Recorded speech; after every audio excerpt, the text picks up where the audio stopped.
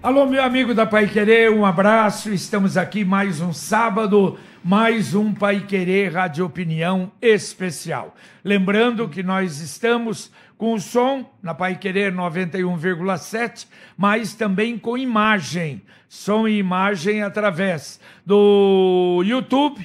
Pai Querer 917 e também através do Facebook Pai Querer 917. Programa de hoje, programa importante, assunto muito sério que a gente vai tratar a partir de agora. Recebemos aqui com muita alegria, já esteve em outras oportunidades a doutora Deise de Pauli, que é infectologista e que, aliás, provocou esse programa que a gente vai explicar. Bom dia, prazer em tê-la aqui, doutora. Bom dia, o prazer é meu. É, agradeço essa oportunidade de, de a gente estar aqui mais uma vez é, conversando e tentando fazer um apelo mesmo a, a, a, algumas coisas que a própria população pode ajudar no controle, principalmente da saúde né, da, da, da nossa população, uma saúde física e principalmente a nossa saúde mental. Então é uma alegria mesmo estar aqui. Muito bem. Também presente aqui conosco a Márcia Corder que é psicóloga clínica especializada em clínica psicanalítica, voluntária do amor exigente. Muito obrigado pela presença. Bom dia, Márcia. Bom dia, JB. Bom dia, doutora Deise, Mário, todos os ouvintes. É um prazer estar aqui para a gente poder levantar alguns pontos de reflexão mesmo sobre qualidade de vida. Perfeito. E falar um pouquinho do amor exigente. Do amor exigente, né? especialmente. Que muita gente, é a gente mesmo, eu tinha muito pouco conhecimento. O Mário Furtado, que aliás amigo de, de velho, dos velhos tempos do Colégio Marista, voluntário do amor exigente, há 30 anos ele participa e é membro do Conselho Deliberativo da Federação do Amor Exigente. Prazer em tê-lo aqui, Mário. Bom dia, JB.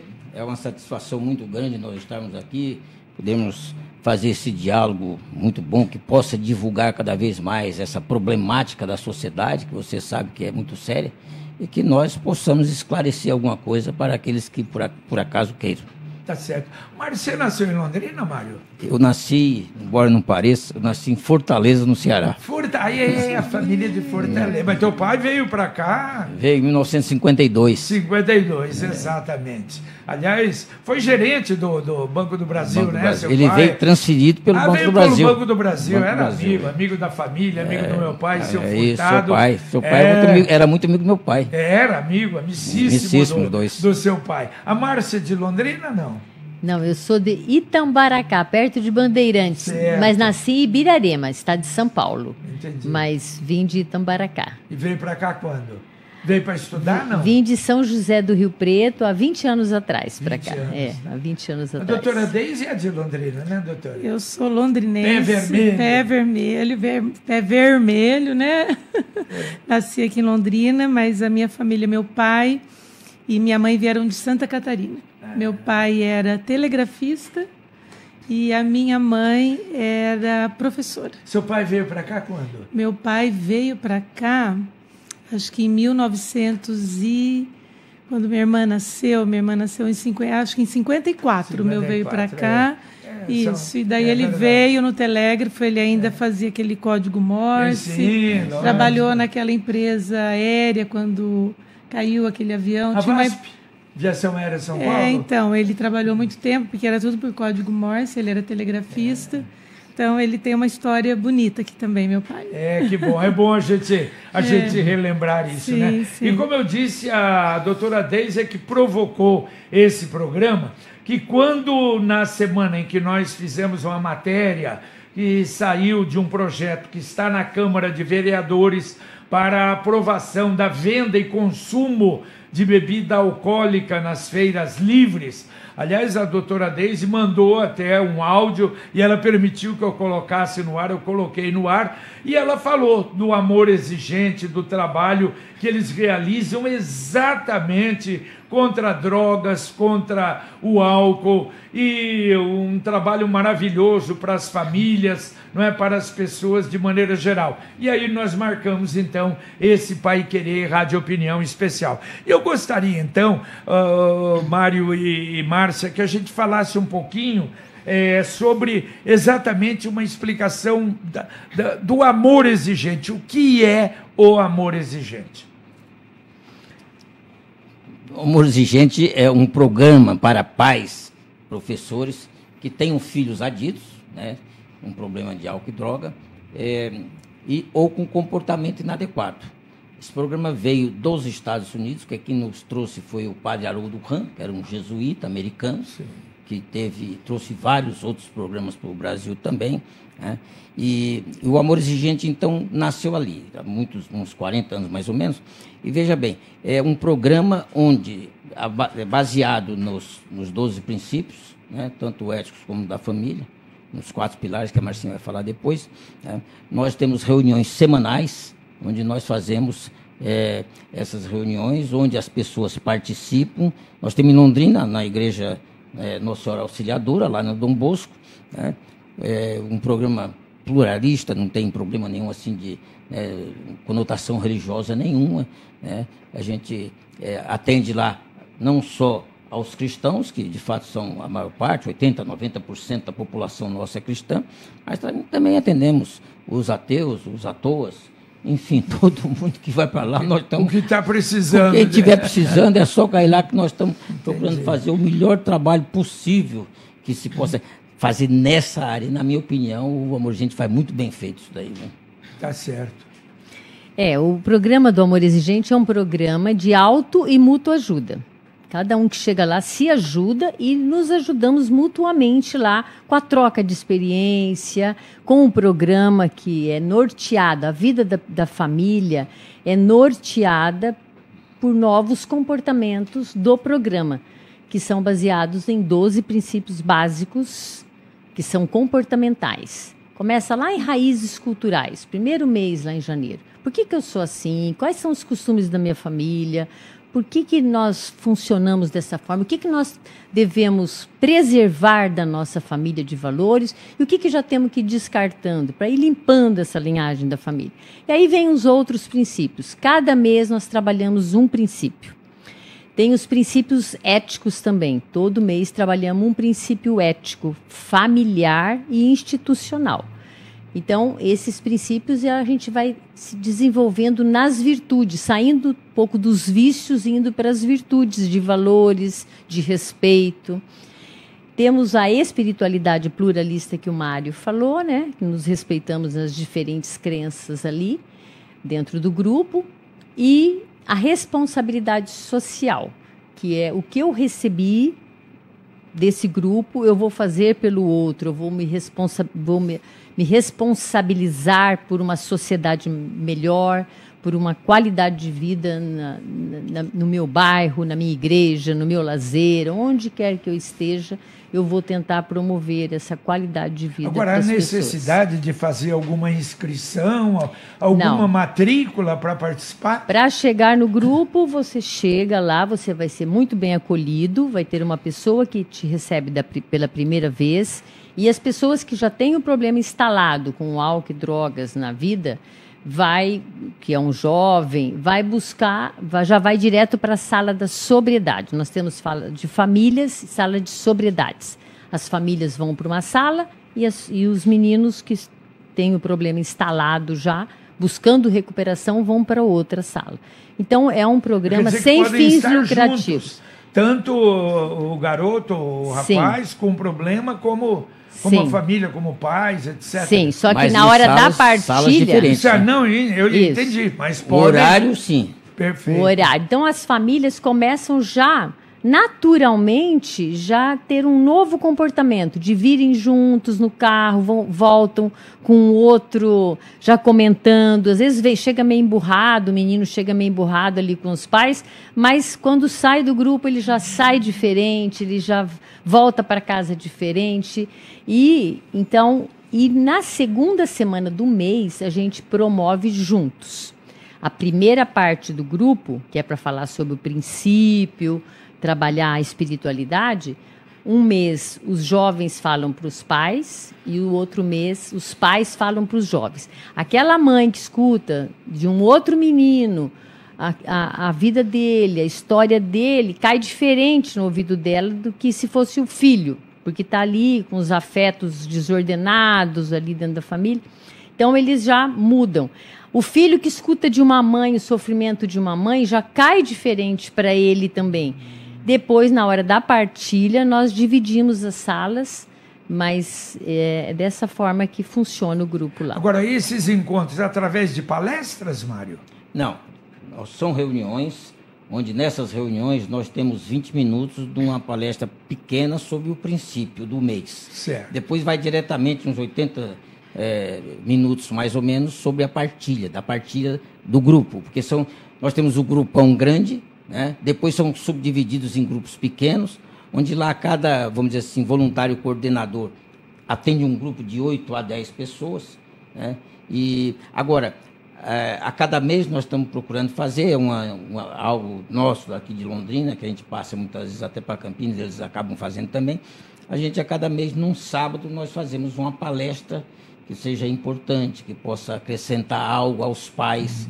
Né? Então, a hora vai um psicólogo famoso que conhece essa problemática. Doutora Outro... Deise já foi lá também. É isso é que eu ia perguntar. Palestras Deise. de médicos, médicos, de juízes, especialistas, é, juízes, juízes, juízes, da justiça. Nós temos, temos sempre. sempre. É, quando é, qual, é o dia das reuniões? Nossas reuniões são todas quintas-feiras. Quintas. Às, às 18 horas começa o grupo de codependência.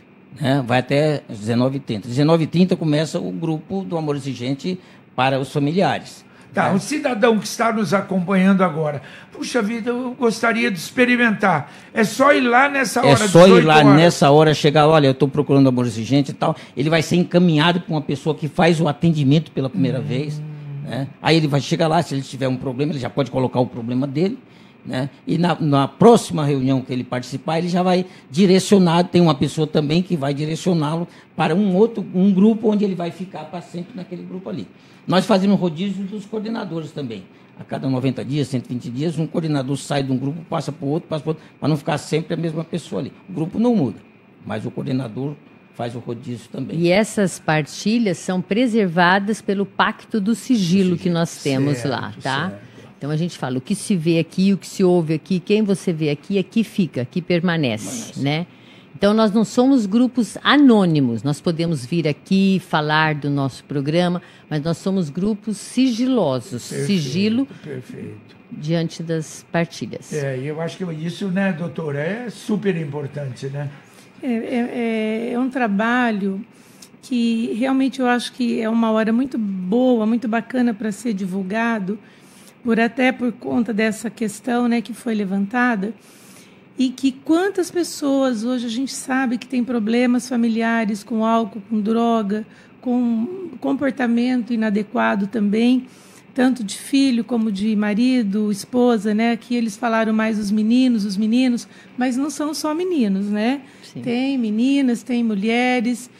É, mas a gente sabe que hoje a gente vê as histórias nas escolas, eu atendo no consultório um número muito grande de pessoas com dependência, né, tanto do álcool como de droga e outras dependências, né, que acho que o Mário também vai colocar, que é de jogo, de sexo, enfim, várias outras dependências. É, eu é, posso dar um rápido depoimento. Eu necessitei desse grupo.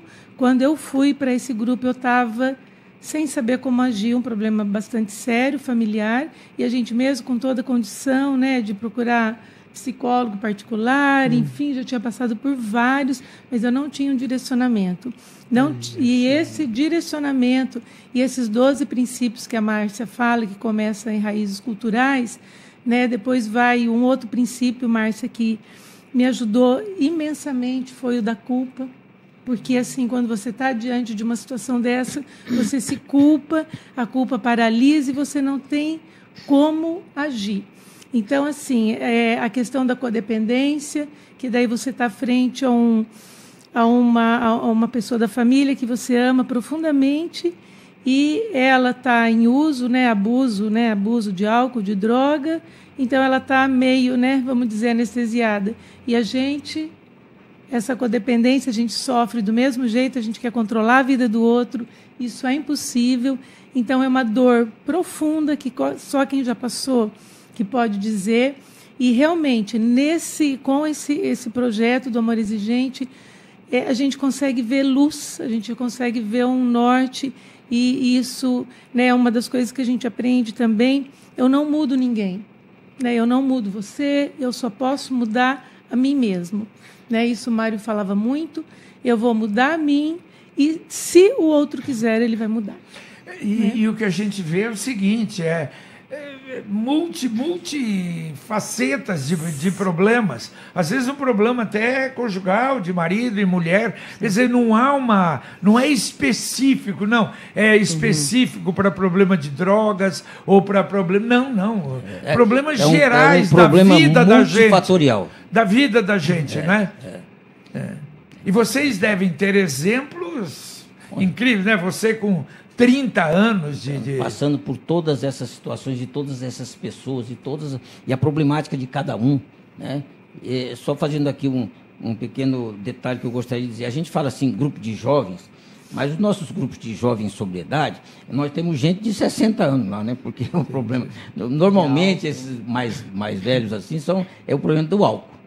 Né? O álcool demora mais tempo para a pessoa né, é, se viciar, então demora mais um pouco.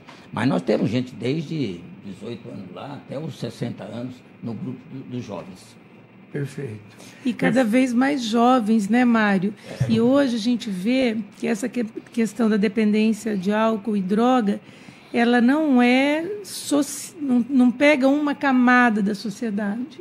Tá? Infelizmente a gente tem visto em camadas que realmente eu creio que o sofrimento é maior porque tem menos é, condições de, de, de, cuidar, mas assim, é, profissionais liberais, é, advogados, é, professores, médicos, enfim, é, vem ah, aumentando. Eu conheci todo mundo. Eu conheci, é todo mundo. É, eu conheci casos de médicos anestesistas que se Sim, drogava com, com o próprio anestésico. Com a própria é. anestésico. É, né? vai, vai devagar e coisa, e de repente. Está viciado.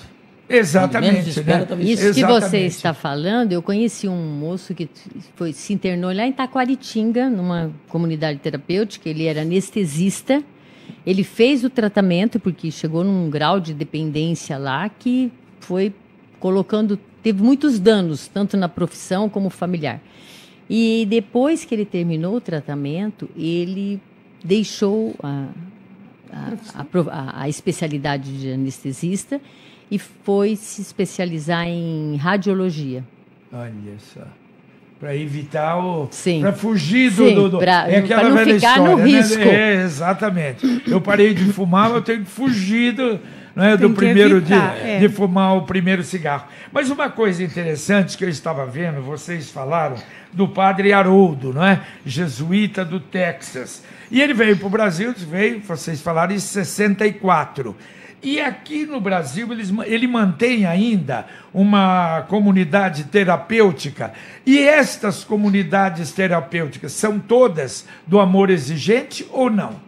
Olha, o Amor Exigente não tem nenhuma comunidade terapêutica. Ah, não. É, ah, ele faz um trabalho é, paralelo. As né? comunidades né? terapêuticas elas pedem que os, os, pais que deixam os filhos na comunidade pertençam, é, se reúnam ao Amor Exigente, tenham reunião no Amor Exigente, exatamente porque a gente sabe que quando você tem um adito numa casa, é, ele é um doente. Claro. Nós precisamos saber claro. disso. A Organização Mundial de Saúde fala isso, ele é doente. Mas acontece que um doente faz com que os outros também fiquem doentes, a família também está doente. Então ele vai para lá, para que ele, quando volte, não fique contaminado pela família, a família faz com que ele recaia, ah. então eles têm que frequentar. Há uma preparação, uma preparação. quer dizer, aí entra é. o amor exigente, porque Sim. nós temos não é, várias, várias casas assim, né, ali perto de Matinhos, tem o Padre Léo, tinha também, né? Ainda tem. Que, Betânia. O Padre Léo é Betânia. É Betânia, e né? do Padre Haroldo, o Frei, você não Frei Haroldo, Frei Hans. Aqui em Piporã. Tem várias, né, várias é. comunidades. Entendi. Né? São comunidades, aí elas pertencem à Federação Brasileira de Comunidades Terapêuticas. A Entendi. nossa é FEBRAE, que é a Federação Brasileira de Amor Exigente. Mas Entendi. o- a do Padre Haroldo ainda continua, Continua, que é a o Padre Haroldo Fazenda... tem um, um Fa- programa. Ele já faleceu, né? Ah, ele mas já faleceu. Padre Ele faleceu com Haroldo, 100 anos. 100 100 anos, que fazendo yoga, né? Agora há pouco tempo. um ano. É, faz uns dois E anos. ele continua com o programa dele, com a POT, lá em Campinas. É uma instituição famosa já lá e tudo. E, e- e tem essa comunidade, existem inúmeras comunidades espalhadas pelo Brasil todo. Né? É um trabalho bonito, bonito, né? né, Bonito, e, tal, né? E, que, e que faz com que muitas pessoas deixem né, eh, das drogas. Que Não, eu conheço pro- casos do padre Léo lá em Santa Catarina, eu conheço casos de pessoas que conseguiram e entraram numa, numa... São milagres, Milagres, que acontece, que você fala, não sei como é que vai ser isso daqui. De repente você vê que as pessoas precisam de apoio, de amparo, porque elas, a sociedade, é como nós falamos, ela oferece aí o, o, o problema e depois abandonam o Abandona. problema, né? É, Bom, todos são voluntários. E você até falava, o número de voluntários é muito grande, né? muito grande. E o atendimento que nós temos no Brasil inteiro, ele chega em todos os nossos grupos, tanto no, também no Uruguai e na Argentina, em torno de 100 mil por mês, né, dos atendimentos que a gente faz. Porque nós temos grupos menores, mas nós temos grupos grandes também, com mais tempo, com, com dependendo da cidade também. Né? Então, o, Amor Exigente, é- é- ele é uma ONG, né, sem fins lucrativos, que faz um trabalho é, monumental, monumental mesmo. E nós tivemos uma presidente nossa, que é a Mara, né, é, que ela dizia o seguinte: o amor exigente funciona e dá certo. Essa é uma frase né, emblemática no amor exigente. Todos nós seguimos isso daí. Porque, de fato, é, você veja bem aquilo que a doutora falou.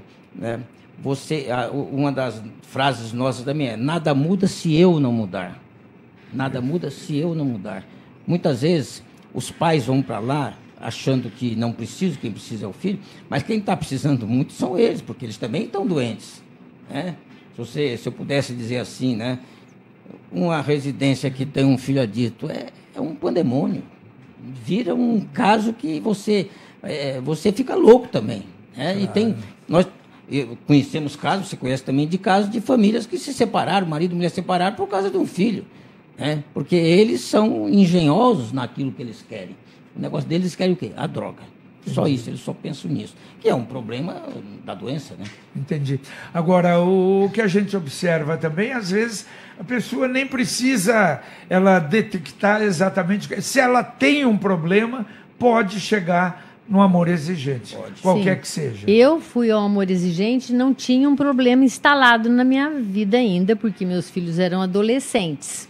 Só que lá eu me descobri com problemas de compulsão, de desorganização, de falhas no caráter e não saber falar não para as pessoas e não conseguir ser verdadeira. Então o programa ele trabalha muito essa questão da tua conduta mesmo, de uma conduta ética, verdadeira, transparente, amorosa, Entendi. generosa com o outro, né? Porque isso é uma coisa importante, até na família, não é, doutora? Você saber a hora, como de dizer não Sim. para um filho e com amor. Não precisa dizer Sim. não para o filho levantando a mão para ele, né? é Tanto isso que, a nossa logo, o amor é maior do que exigente, tá? Amor é exigente, mas o amor tá escrito Entendi. maior Márcia, do que... tem uma, uma outra frase que vocês falam, o seu, o seu amor, como fala? Fala isso, isso é maravilhoso também. O seu amor, é, a, a sua exigência me humilha, me revolta. O seu amor sem exigência me humilha. E o seu amor exigente me engrandece, me amadurece. Que coisa, que coisa É. bonita. Agora, dentro da experiência que vocês têm, antes da gente entrar nesse campo aí das, das drogas e principalmente da bebida, qual é o problema que mais aflora, que, que o pessoal mais procura o amor exigente? Ah, a droga é o A que, droga que surge. Mas é. assim, mas tudo começou no álcool. Entendi. No álcool, no, no cigarro, na maconha. O- a porta de entrada para os problemas mais sérios da do crack, dessas drogas mais pesadas, cocaína, é, o início é no álcool. Especialmente a cocaína, ela, o álcool, ele, ele starta ali o, o desejo da cocaína. Tem um menino até que fala: Eu parei de usar álcool porque meu nariz não aguentava mais. Porque to, já, tom, já bebeu, já dá o, Já o start. A, a sociedade procura distinguir é, bebida alcoólica das drogas, se esquecendo que a bebida é droga. Né? E nós temos uma sociedade química, porque todos os eventos, todas as, as comemorações, tudo que a sociedade vai fazer, o álcool está presente. E, e ele é droga. Então você veja, é, tudo como a Márcia disse, começa com o próprio álcool, está lá à disposição, né? E a sociedade é permissiva com isso. Né? E esse tipo de coisa que pode acontecer de quanto mais liberar e colocar à disposição a droga à disposição das pessoas, vai piorar cada vez mais daí, esse, esse problema. Tanto que a gente fala, né, que é o, o, o abuso, o uso e o abuso de álcool e outras drogas, né? E eu- eu- eles têm bastante experiência com isso, a gente também vê bastante que na, na grande maioria das vezes a primeira droga que aquela pessoa usou era foi o álcool. E isso vai abrindo a porta para as outras, né, para essas outras drogas, e como o Mário falou, vão levar uma dependência mais rápida, né? E a gente assim conseguiu essa questão de diminuir a- as propagandas em relação a- ao álcool, mas ainda nós temos muitos eventos que são patrocinados né, pela, pela indústria do álcool. E isso que o Mário falou é muito importante. As comemora... Então, assim, a, a bebida alcoólica ela é, ao- é relacionada com alegria, com festividade. Evento, Com comemoração. eventos, tudo. Ah, então vamos. Então, é, é- é uma coisa que, deve, que de- nós deveríamos. Né, isso também é um aspecto cultural. Porque é cultural a questão da bebida alcoólica. Né? Então, as pessoas. Ah, não, vamos, vamos em casa para a gente tomar o chá, vamos tomar o suco, vamos conversar. Né? Não, é, as pessoas convidam para você. É, é, Tomar ter- um vinho, tomar uma vinho, tomar- cerveja, Então, tomar- assim, é, é- isso é cultural, né? E a gente vai ver aqui, num dos nos programas de, de você ter...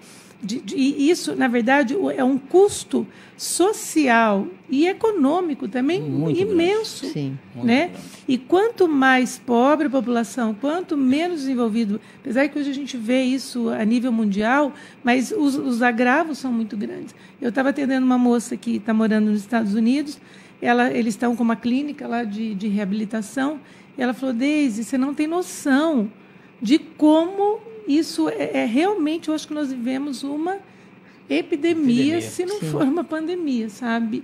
Então, é, é necessário essa reflexão dessa questão cultural que nós estamos vivenciando e muitas vezes fomentando, né? É, o, o- e o que me parece, porque é evidente que você não vai mudar, é uma coisa que não, proibir, não, Sim. não, isso não, não existe, não é? Evidentemente, e todos nós sabemos. Agora, o problema é do aumento da divulgação e da permissão em lugares, por exemplo, em que anteriormente, como é o caso das próprias feiras, não é? Que não tinha álcool e de repente não. Aí a vereadora, a vereadora não acha que, que deve ter, quer dizer, o problema maior é exatamente essa propaganda, não é? É, quando a gente ouviu, inclusive, essa, essa sua reportagem sobre essa liberação de, de venda e consumo né, de, de álcool em feira livre, isso realmente acendeu um, um botão vermelho em mim. Né?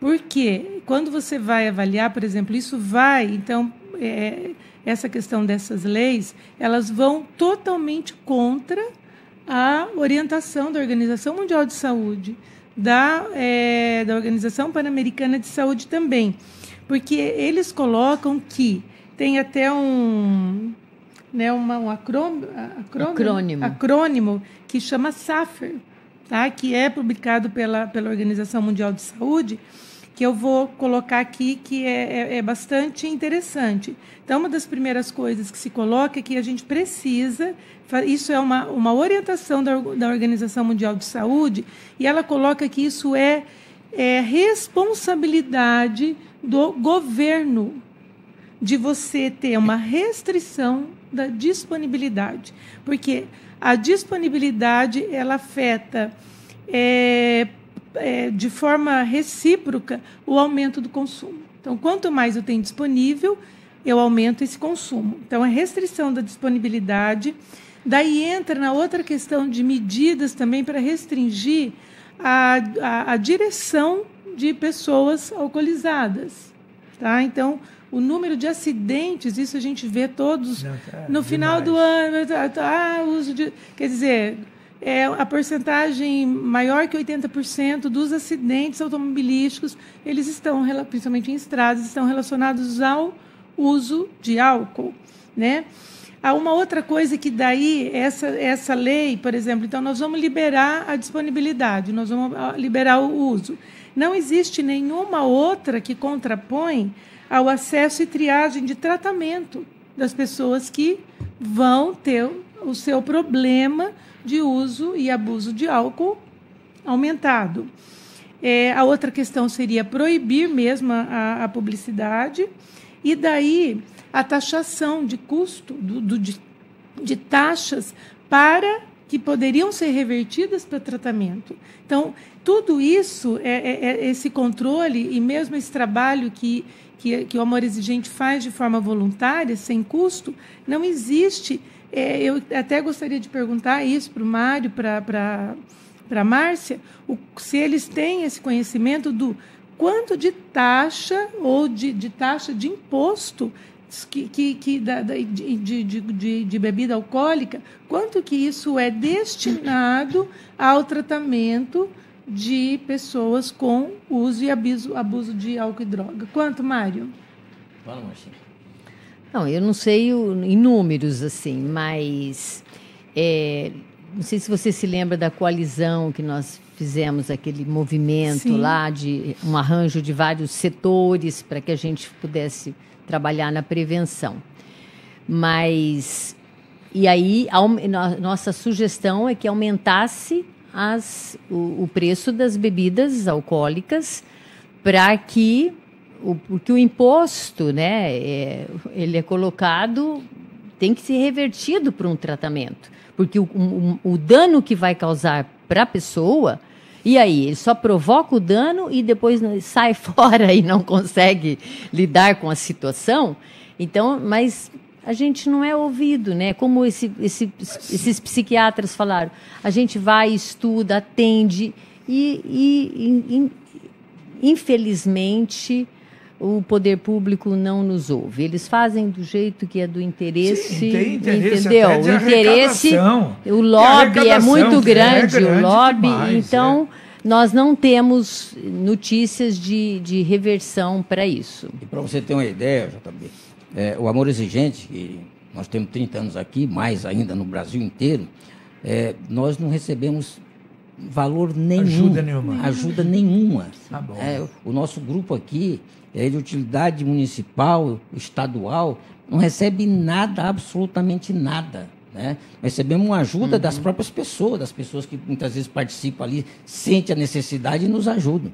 Né? Então você vê, é, se houvesse assim esse algum uma taxa, alguma coisa sobre a bebida, que é droga, e que fosse revertido para essas instituições, a gente faria um trabalho muito melhor, né? um, aumentaria o atendimento às pessoas. Né? Entendi. Mas não é difícil. Né? E, o, e o problema hoje, doutora, de doenças relacionadas à, à bebida é muito grande? É, é, imenso, né, JB? Então, por exemplo, eu tenho alguns dados aqui, e nós temos, tem uma, uma, uma psiquiatra, a doutora Alessandra Deli, e ela fez um artigo é, o ano passado é relacionado a especificamente essa, essa lei, esse projeto de lei que está tá na Câmara, né?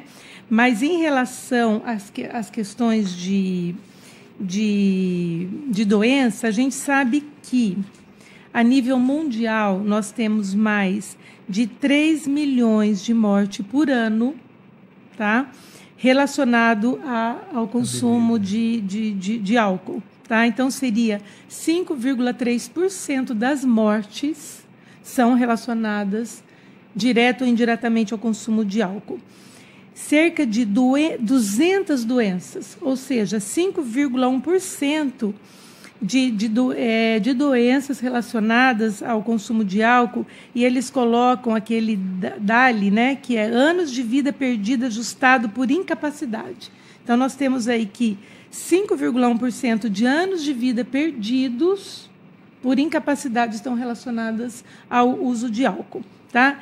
Em relação aos jovens, Mário, nós temos que 13,5% do total de mortes de jovens de 20 a 39 anos, 13,5% está relacionado ao uso de álcool. Aí entram transtornos mentais, vários transtornos mentais, né? Aí a gente pode citar de doenças orgânicas, é, cirrose hepática, câncer, em mulher é relacionado existe uma relação bem importante de câncer de mama e, e uso de álcool, tá? É, tuberculose e AIDS, também relacionado ao, ao consumo de álcool, e que nas mulheres, nos homens, a gente tem, de forma geral, 7,7% das mortes nos homens estão relacionadas ao álcool e 2,6% nas mulheres. Então, assim, é, o que, que se coloca? Que por mais que nós que se tenha, né, o, as taxações, os impostos e o que a, a, o poder público, o que a sociedade, né, as prefeituras, os governos arrecadam com isso, não paga o custo do tratamento das doenças. Não paga esse custo. Então, é, porque isso leva a alterações econômicas, alterações sociais e alterações físicas que as pessoas não têm essa noção. Então, por exemplo, o número de câncer de mama tem aumentado assustadoramente. Alterações hepáticas, alterações de comportamento, né? que vão desde a, a, questão da própria dependência, mas de outros tran tran transtornos né, mentais relacionados ao, ao, ao, álcool e que hoje nós estamos convivendo com isso, com um número de casos cada vez maior, cada vez mais essas clínicas de internação para dependência química e outras que, na verdade, a maioria dos governos nem tem né, como a gente vê, são um grande número são particulares de altíssimo custo e as, essas comunidades terapêuticas, né, Mário, e que elas são de tem que ser voluntário. A pessoa tem que ir para essas comunidades de forma ah, sim, voluntária. Exatamente. E a maioria, dependendo do grau de dependência, ela não vai. Aí ele vai, ele foge. Então, assim, o, o custo, o ônus social é muito alto. Uhum. Né? Além disso, a doutora sabe mais, é o seguinte, existe o abuso de drogas propicia que algumas doenças que a pessoa talvez nunca tivesse, né? ele vai potencializar. Exato. Então, Isso que eu ia falar, o enfraquecimento é, não, do organismo. Tem muita né? gente que é, desenvolve é, esquizofrenia, por exemplo. Talvez ela nunca né? É. Iria ter esquizofrenia. Mas o abuso do álcool ele vai dar o gatilho para essa doença e outras que possam acontecer, né, doutor? É, inclusive, a gente tem estudado muito uma, uma questão que a gente chama hoje de epigenética. Tá? Então, a epigenética, nós temos os fatores genéticos. Então, é claro que pessoas que têm é, principalmente em relação ao álcool, né? Isso já é bem estabelecido. Uhum. Se você tem uma pessoa com problemas com álcool na sua família, o risco dessa de, de mais alguém na família desenvolver o, o alcoolismo é muito grande, é. né? Que é a questão genética. Mas hoje a gente fala da questão epigenética, que são os fatores externos que vão ou bloquear ou precipitar o aparecimento de um problema que essa pessoa não teria. Então, a questão epigenética hoje ela tem sido mais estudada e dá, ser mais valorizada do que o fator genético em si. Os ambientais, e, né? Que são os ambientais. É, e aí há o exemplo também, né? Dos filhos sim, pequenos, sim, menores, social netos, e, né? Sim. É uma coisa de ver o pai ou o avô, né? Que, que, que, bebe muito exatamente é. né, ao caminho. Né? Vão se desenvolvendo exatamente. naquele ambiente. Porque assim, As pessoas começam a beber e uma ou duas doses só dá aquela sensação de relaxamento do corpo, de, de um ansiolítico, vamos dizer assim, né? Depois elas não conseguem se manter nessa fase. Aí elas querem continuar e aí para ficar naquele estado de relaxamento, só que aí vai para uma euforia, fica chato e brinca, e hipersexualizado e fica já já muda o comportamento ali com as outras doses. Aí ele tá ali animado na euforia, ele quer de novo é, se manter naquilo, bebe mais. E quando chega num ponto que daí já vem até quase em coma, né? E depressão, e aí já vai caindo a, o rendimento, já vai cambaleando e tudo mais. Porque a, o álcool é uma droga depressora do sistema nervoso central. Então, sem contar com os transtornos de depressão, que hoje já é um número muito alto, Não. e com o uso de álcool. Pior ainda. Pior né? Vocês devem receber muitos casos assim, não é? De depressão, Sim. não apenas ligado ao álcool, mas de uma forma geral, não é? Que hoje também é uma doença do da atualidade, né? Sim. Agora, é, essa questão, só voltando um pouquinho essa questão que a Márcia falou da, da necessidade de ir aumentando o consumo, Isso. também seguindo, segundo a Organização Mundial de Saúde, não existe qualquer uhum. uso, nem que seja pequeno, a uma taça de vinho no dia. Tranquilo, mas não existe nenhuma quantidade segura Qualquer, eles colocam basicamente, uhum. qualquer uso de álcool está associado a alguma quantidade de risco. Qualquer, não existe uma. Em relação ao álcool, tem algum, ah, um copo que tem a questão do teste do bafômetro é. e tal. Mas qualquer uso vai causar um risco. E tem mais um dado que é assustador, que a cada 10 segundos, cada 10 segundos, uma pessoa morre de causas relacionadas ao consumo de álcool da droga álcool, não de outras drogas, da droga álcool. A cada 10 segundos nós temos uma morte relacionada. Sem falar de, porque aí a gente fala da questão do trânsito, de tantos acidentes, né, que essas pessoas vão ter incapacidade, depois muitas vezes né, capacidade, incapacidade é, é, para o resto da vida, né? Então não existe nenhuma quantidade que ela é dita, ó, essa quantidade é segura, porque aí vai depender também desses fatores que a gente também ouve bastante, que eu gostaria de colocar. Aí você fala assim, ah, não, mas o fulano, ó, você pode beber, mas pode beber pouco. É que fulano não sabe beber. Não existe saber beber. Uhum.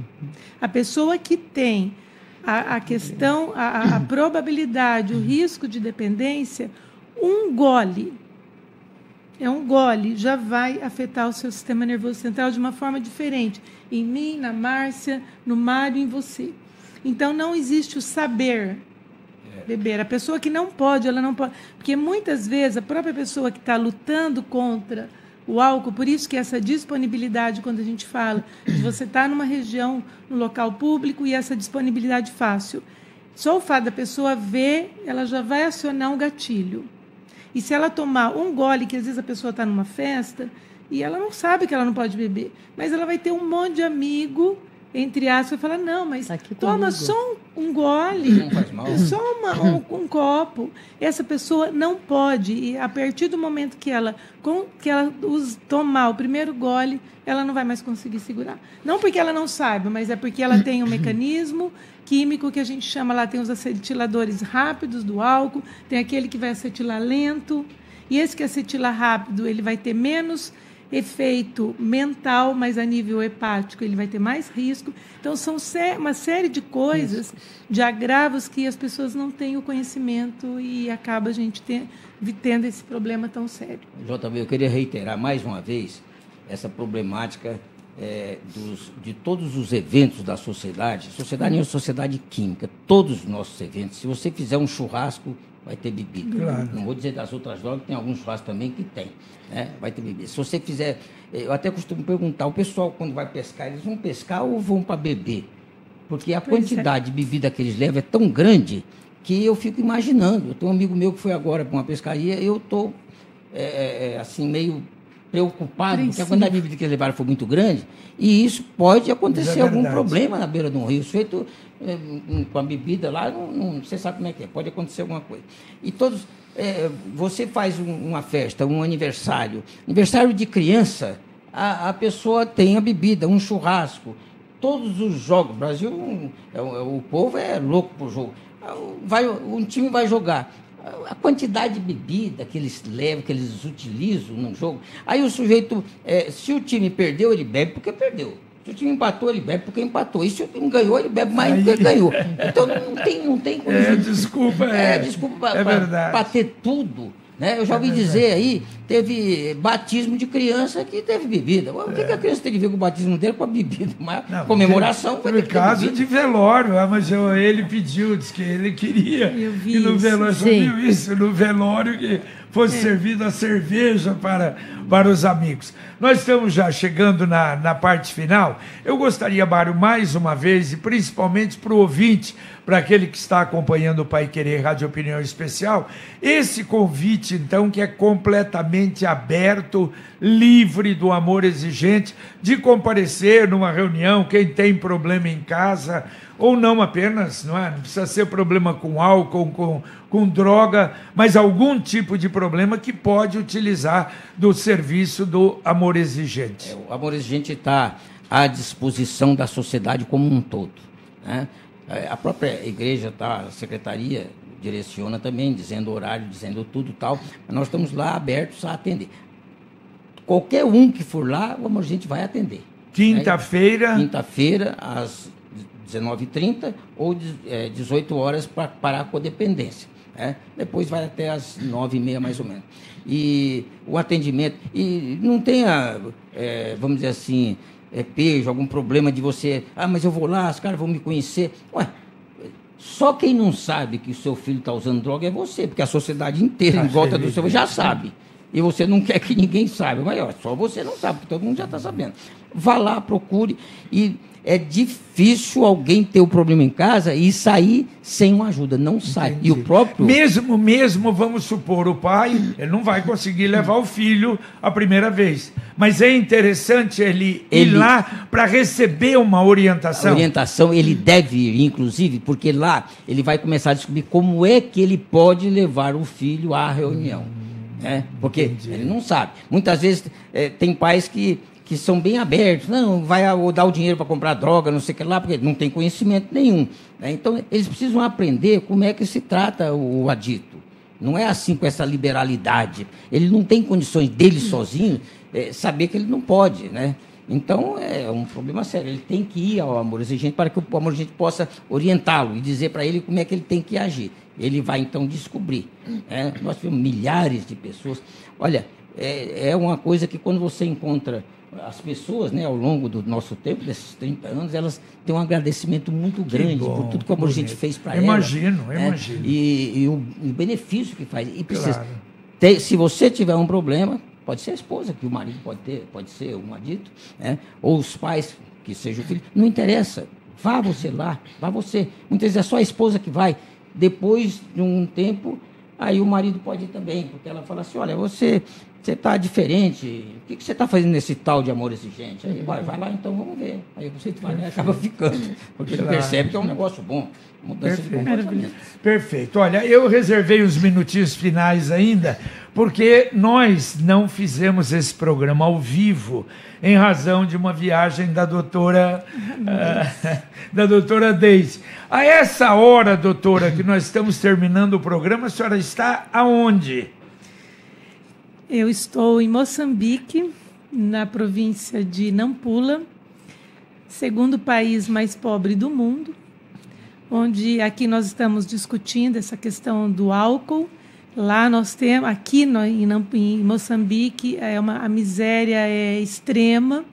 As pessoas aqui não têm água para beber. Olha só, então deixa É. eu explicar, e ela vai falar um pouquinho. Ela está indo para uma missão onde está a irmã Verônica. Isso. Que estão lá as irmãs claretianas, a irmã Verônica está lá há mais de cinco anos. Sim, é. Há mais de cinco, cinco anos. anos. E volta e meia, a gente, ela manda mensagem, não tem água para beber no lugar. Ela, doutora Deise, vai como missão trabalhar, ajudar durante o mês, não é, doutora? É, gente, eu vou ficar um mês lá e a gente vai tentar. Da primeira vez que eu fui, nós atendemos cerca de 600 pessoas e a miséria ali é extrema, então realmente a gente identificou essa falta de, de água para a gente poder tentar melhorar o mínimo a qualidade de vida dessas pessoas. E, e, as irmãs claretianas, inclusive agora, quando eu estando aqui, nós vamos, elas vão estar completando 10 anos de missão lá em Moçambique. Então, nós vamos estar participando lá e tentando levar um pouco, um mínimo de alívio para aquela população, para aqueles irmãos, que é o sofrimento deles é, é muito intenso, né? Mas aí é um outro, é uma outra missão. Mas é uma missão. Mas é uma missão, poucos, é, né? que pou, né, Mário? é porque poucos, é, não é fácil não. Isso é, e, e, e, bom, nós temos que dizer porque estamos gravando É, ainda, gravação. não é? Vão, como é que é? Sai daqui e vai para É, eu, nós vamos por Angola. Angola. E daí Angola para Moçambique. A gente chega na capital, Maputo, e depois mais dois mil quilômetros para chegar Maputo em- até lá. até Nampula. Nesse local. É, Bom, nunca o che- avião deve ser maravilhoso é, de um- lá é, até na. é, essa- Nós vamos de jatinho. e assim, nessa região que nós fomos, nunca chegou nenhum médico sem fronteira. Então, quando nós atendemos prime- a primeira vez, a grande maioria nunca tinha tido uma consulta médica. Eles andam mais de 15 quilômetros a pé para essa avaliação. Então, a gente leva algumas coisas, mas nós queremos levar água para essa população.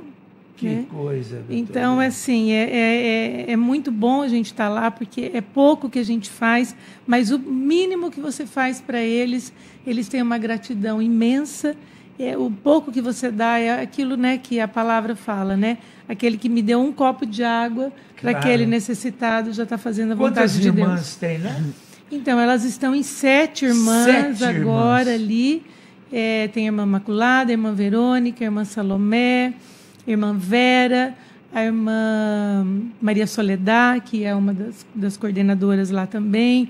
A irmã Doralice, que inclusive ela me mandou uma mensagem, ela está com malária e febre tifoide e não tem Não, a remédio. irmã que as irmãs que estão lá, não É, tem irmã que não pegou malária, Não, né? não Uma, tem, duas, é, três e vai. Olha, É, eu é, fiquei- exatamente isso de Londrina para o, O mundo. mundo, é, Mas para o mundo, o mundo que nós nem sabemos que existe ainda. Nós não, é, não conhecemos, Não é. conhecemos, né?